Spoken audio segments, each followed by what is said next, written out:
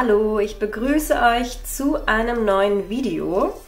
Es gibt mal wieder eine Fubonichi Weeks Deko. Wir sind jetzt beim äh, vierten Advent schon angekommen. Ich bin gerade selber überrascht. Ihr seht, ich habe mir einige Sticker rausgesucht. Ich habe hier einen Kaffee parat stehen. Ich habe ein bisschen handgeschöpftes Papier und natürlich den Fubonichi und sogar ein bisschen Glitzer. Klebetape, wie auch immer man es nennen möchte. Ähm, ja, ich lege direkt los, würde ich sagen. Also ich habe hier sowohl Sticker von Vintage Sticker Dream, jetzt ist es Florina Paperie. Das sind so ein paar kleine Reste, die eignen sich immer ganz gut, um sie dann im Fubonichi zu verwursteln, weil ähm, da nicht so viel Platz auf den Seiten ist. Und dann habe ich aber auch noch diese gemütlichen Sticker von Claris Planning und auch die Zahlensticker, die ich ganz cool finde. Ich muss mal gucken, ob die von der Farbe nachher so gut reinpassen. Ähm, Habe ich die auch in rosa? Bestimmt. Moment. Ich kann sie ja schon mal raussuchen, falls ich sie habe. Ja, das ist mir, glaube ich, zu dunkel. Das ist mir zu pinkig. Mal gucken. Vielleicht nehme ich die. Schauen wir mal. Und ich würde sagen, ich fange mit dem handgeschöpften Papier an. Das sind jetzt zwei Bögen, die sozusagen aussortiert sind. Ihr seht hier schon, da ist ein Loch, das ist ähm, komplett äh, äh, geknickt und so weiter. Das ist auch nicht so ganz so schön geworden hier am äh, Rand und an der Ecke. Aber ich habe auch ein paar schönere Blätter und die sind äh, gerade neu in meinen Shop eingezogen. Und ich dachte mir, wenn ich das hier schon in der Deko benutze, dann zeige ich euch doch einfach mal, wie das Set insgesamt aussieht. Und äh, in der Infobox ist auf jeden Fall auch der Link. Da könnt ihr dann ähm, euch äh, ja, ein Set bestellen. Es gibt auch noch andere Farben momentan. Stand während ich das hier filme. Also es kann natürlich sein, dass im Laufe der Woche oder so dann nochmal wieder was ähm, weggegangen ist. Aber auf jeden Fall ist das jetzt hier ein Beispielset.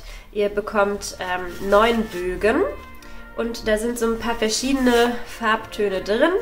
Das geht von so einem Eierschalengelb über so ein äh, Altrosa, nenne ich es mal, über in so ein, ähm, ja, rosa. also es ist so ein Mix aus rosa und Lachs, würde ich sagen. Aber das sind die Töne. Ich hoffe, man kann das ganz gut erkennen. Und was man leider sehr schlecht auf Fotos einfangen kann, ähm, ist, dass die alle so ein bisschen schimmern. Also auch die Farbe ist jetzt hier so ein bisschen getrübt durch das Licht.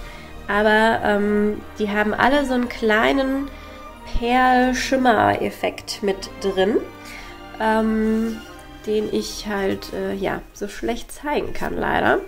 Aber ich dachte, ich zeige euch mal das Set so im Ganzen. Und vielleicht ist euch auch schon aufgefallen, dass hier verschiedene Strukturen mit enthalten sind. Das ist so das kleine Gimmick.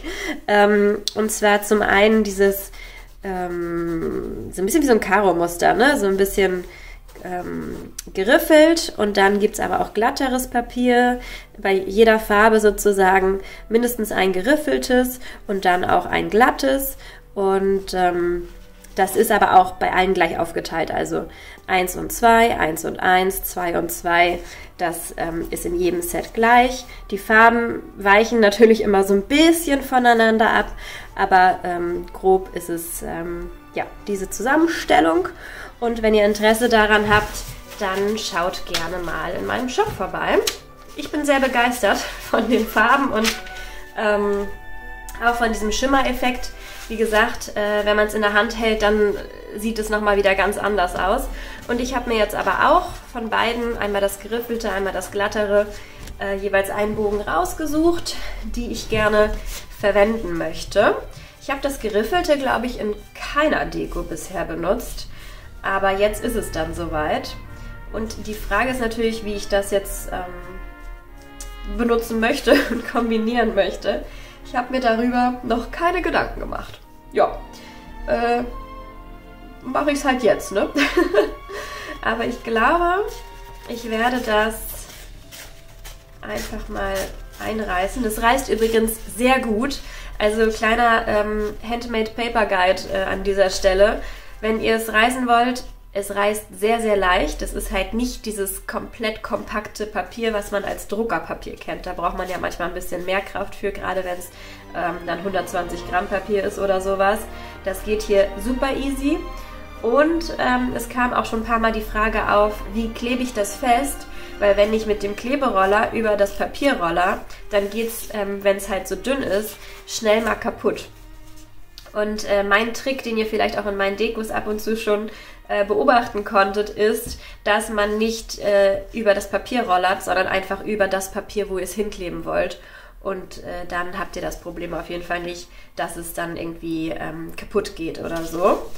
Und ich reiße jetzt auch einfach noch das andere Papier. Und dann könnte ich mir vorstellen, die so übereinander zu legen.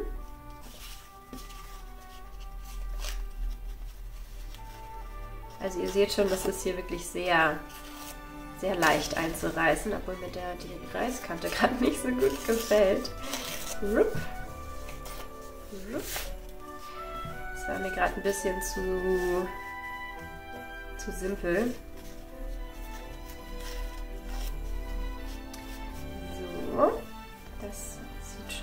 Besser aus.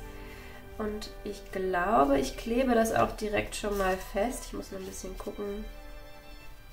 Ja, doch, das ähm, finde ich ganz gut. Es wird halt immer dicker hier in diesem Buch, ne? Aber ähm, es ist ja bald geschafft, das Jahr. Von daher ist alles gut. Und da nehme ich jetzt aber auch mal den anderen Kleber für, weil das ja doch jetzt sehr dick wird und viel Schicht übereinander. Deswegen kleister ich einfach mal hier die ganzen Seiten ein bisschen ein. Und dann klebe ich das Papier da drauf.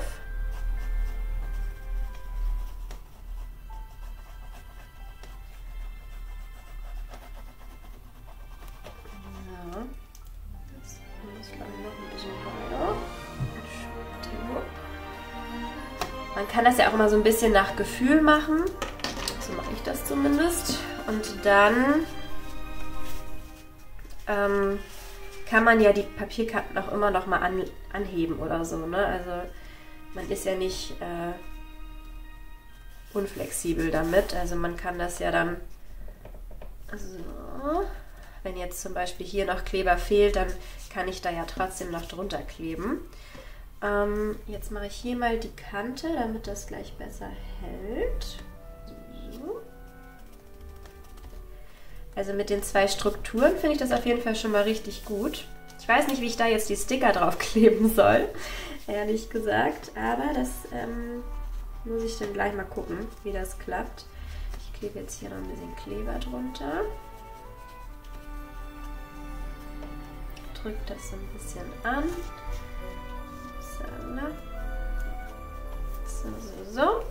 Darf ruhig so ein bisschen abstehen. Das finde ich, sieht auf jeden Fall ein bisschen natürlicher aus dann. Und dann schneide ich auch schon mal das Überstehende ab. Das ist immer so ein bisschen schwierig hier, weil das Buch im Weg ist. Linkshänder bin ich leider nicht. Aber irgendwie fehlt hier auch noch ein bisschen Kleber hier oben. Ne? Moment. Das soll ja schon halten, das Ganze.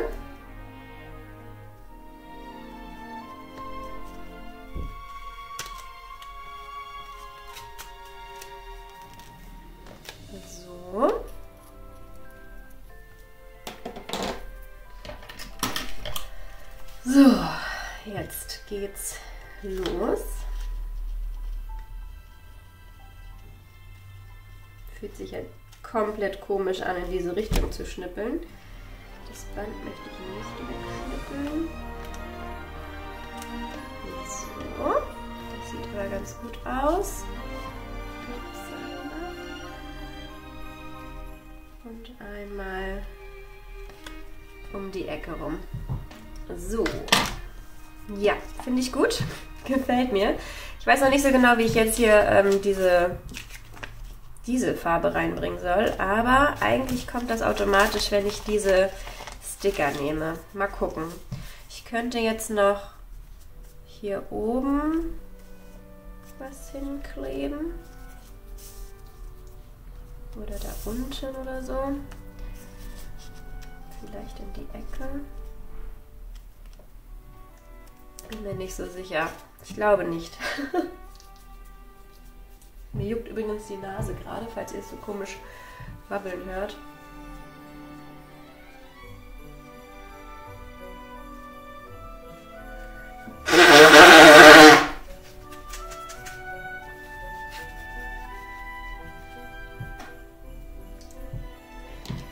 So, hier unten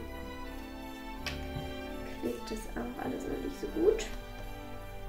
Da helfen wir noch mal ein bisschen nach.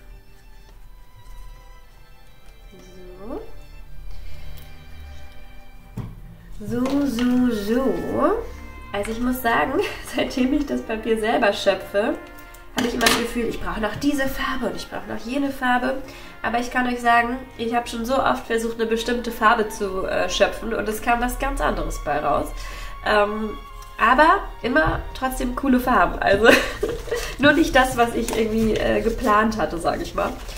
Ähm, ich glaube, ich bleibe. Ach, ich weiß es noch nicht. Ah, ich weiß es noch nicht.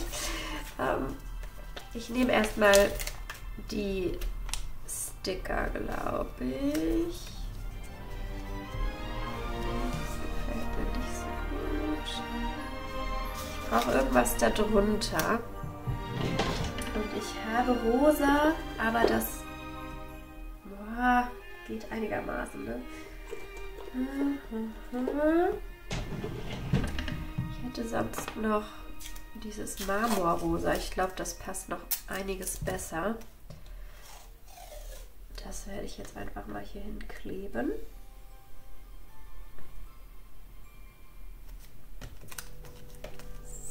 So. Huch.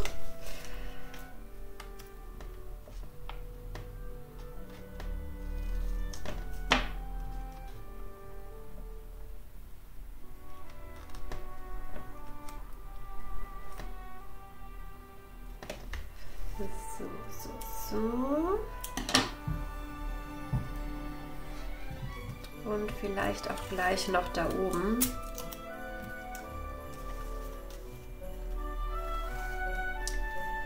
Vielleicht dann so ein bisschen über die Seite rüber.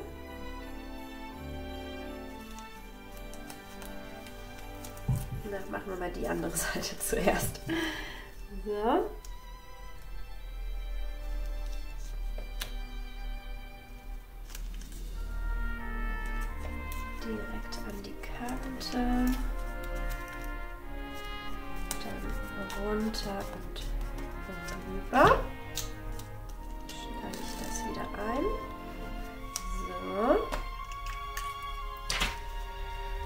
So. Okay, die Basis ist da. Dann geht es jetzt mit den Stickern weiter.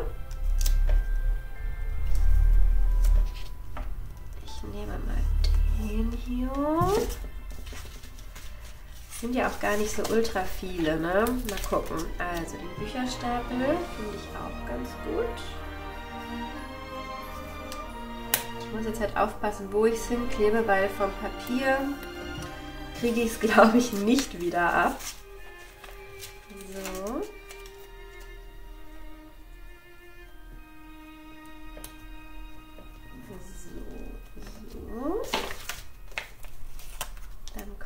hier der Beistelltisch dazu.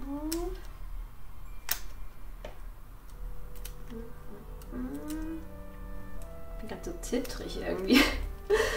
so. Und das Bild. Ich weiß gerade echt nicht, wie ich das hier noch mit einbauen soll.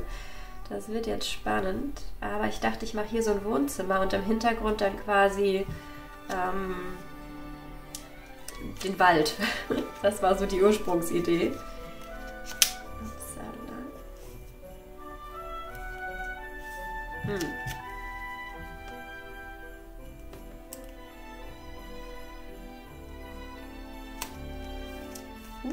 So. Wenn ich jetzt den Wald machen will oder kleben will, muss ich mal schauen, ob das jetzt passt. Aber ich mache es, glaube ich, einfach und dann, dann wird es schon.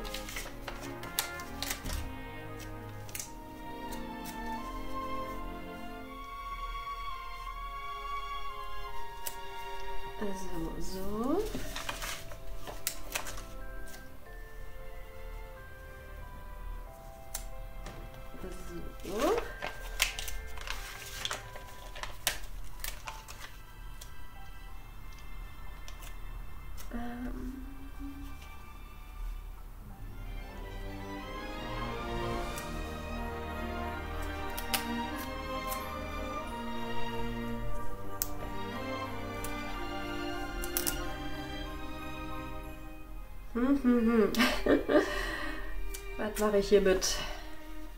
Vielleicht einfach hier oben hin. So. Okay, das geht tatsächlich ab, weil das halt so ein bisschen Struktur hat da drunter. Dann klebe ich den nochmal um. Und jetzt habe ich auch nur noch diese Blume hier.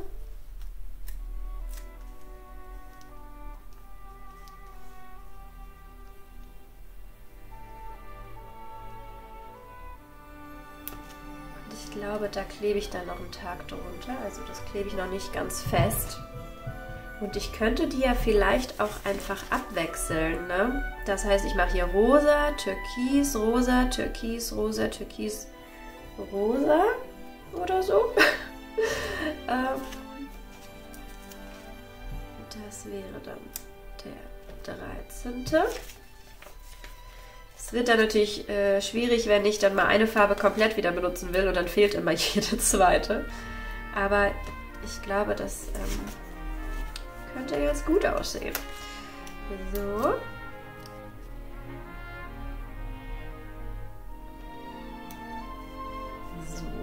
Mist, jetzt habe ich es unten auch schon festgeklebt. So, dann brauchen wir die 16.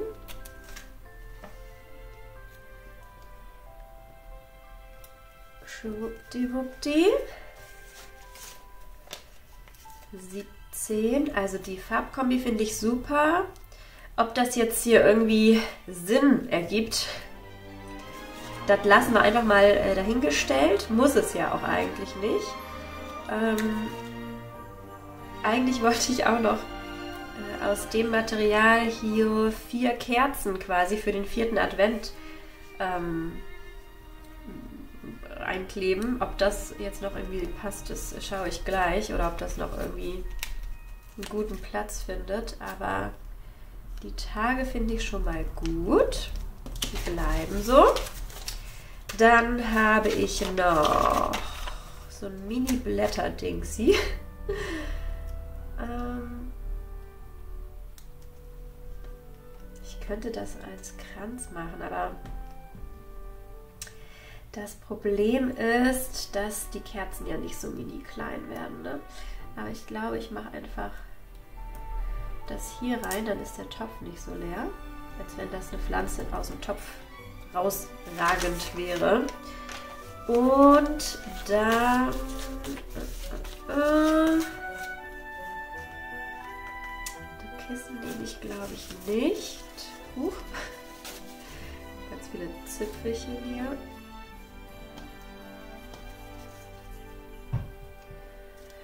Ich schaue mal, ob das jetzt hier irgendwie noch klappt. Also ich dachte mir, ich mache einfach so mini schmale Kerzen.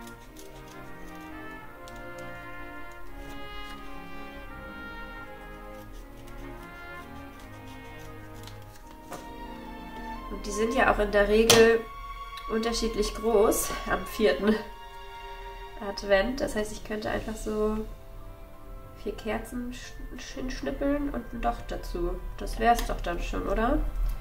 Also quasi Kerze 1. Uh.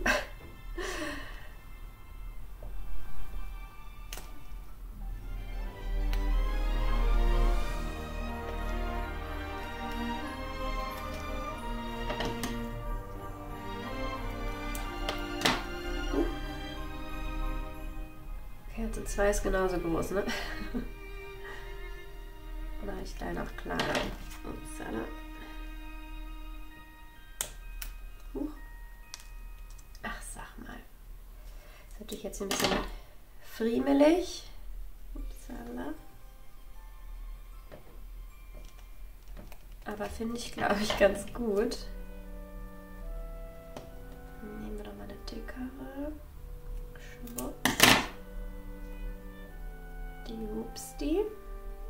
Dauert es hier nicht so lange, die Rückfolie abzuziehen, weil die ist nämlich relativ ähm, ja, un, undoll dran. Wow. so.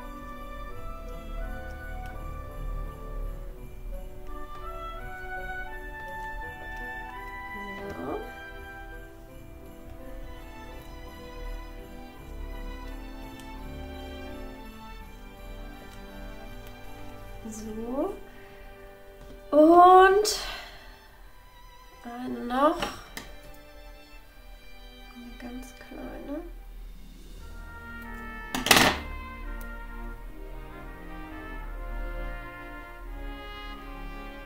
Upsala. Ja, die muss ja noch kleiner. Nur so ein kleiner Stumpen. Aber wer kennt's nicht, ne? Die, die man zuerst anhatte die ist am Ende fast weg. Und die, die man noch nicht anhatte, die wird auch kaum abgebrannt. So, das sieht aber ganz gut aus, oder? Schreibt es in die Kommentare, damit ich es lesen kann. So. Dann bekommen die alle noch einen Doch.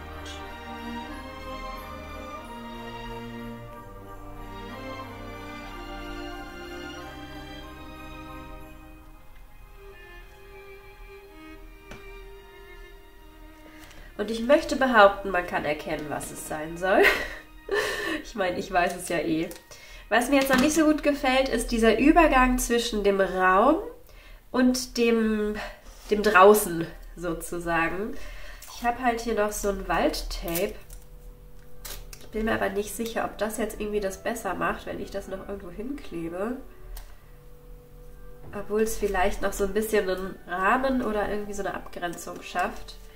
Deswegen teste ich das jetzt hier einfach mal aus, ob mir das gefällt.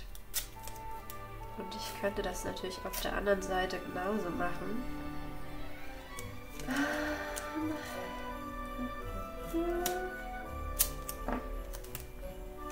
Ich könnte. Ich könnte das hier oben hinkleben. Dann müsste ich aber das andere nochmal abnehmen. Also wenn ich es da so platziere, gefällt mir das, glaube ich, ganz gut. Dann muss der Sticker nochmal runter.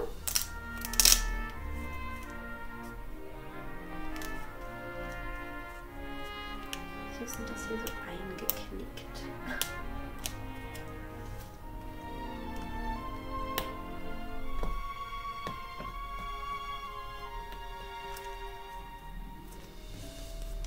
Besser aus. So. So. Und so. So ein bisschen zweigeteilt die Deko, aber macht ja nichts. Jetzt habe ich noch die Seite geschnitten. Wow. Ah.